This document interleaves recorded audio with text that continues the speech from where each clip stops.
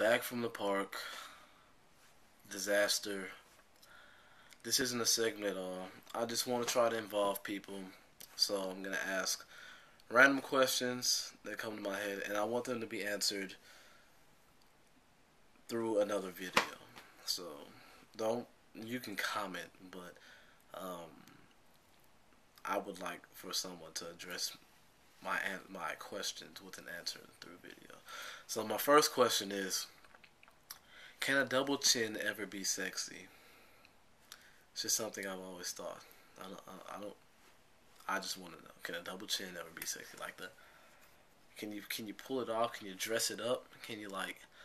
I don't know if you might if you put some like icing down there or something. Does that make like fat sex enjoyable? I, I just want to know from someone else's opinion. Um, the other thing, would I have less subscribers if I had a toenail collection? I, I don't have one and I don't want one, but I'm just random. And how would y'all feel about me asking y'all to mail me y'all's toenails as part of me responding to your video? I was like, oh, and um, if you want me to respond to your video, uh, subscribe and mail me uh, three toenails, the big one and two others off of any toe or whatever. Like, would that be weird to y'all? I think that's weird as hell. But, um, and the other thing, damn it, I don't know. Those are just two questions. Uh, just randomly came up.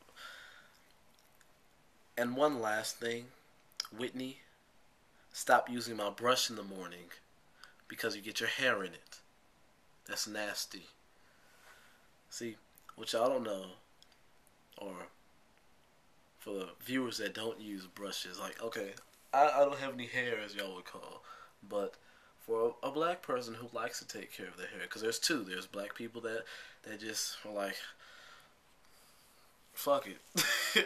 and they got the little BBs, and they look like a Somalian child that doesn't have really any home training and there's people that have waves or they're trying to get waves. I don't have any waves because I have like uh, steel wool for hair, so it's really hard to control my hair. That's why I need my brush Whitney.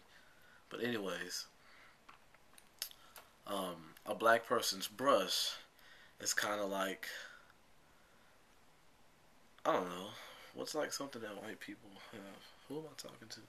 Uh, it's it's a sacred item that you don't touch. You don't really ask to use another black person's brush unless your hair is acceptable to use to use it like you have waves. I mean, uh, that's not I'm not sure that if that's proper etiquette, but that's my rule. I mean, if your hair is not normally brushed, I'm not going to let you use my brush. One, that's nasty, and two, you don't take care of your hair in the first place. I don't want your like dandruff and stuff falling in my brush.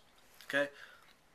Um, next time it happens, Whitney, I'm gonna pee on the toilet seat and I'm gonna leave it. Load Lotus out.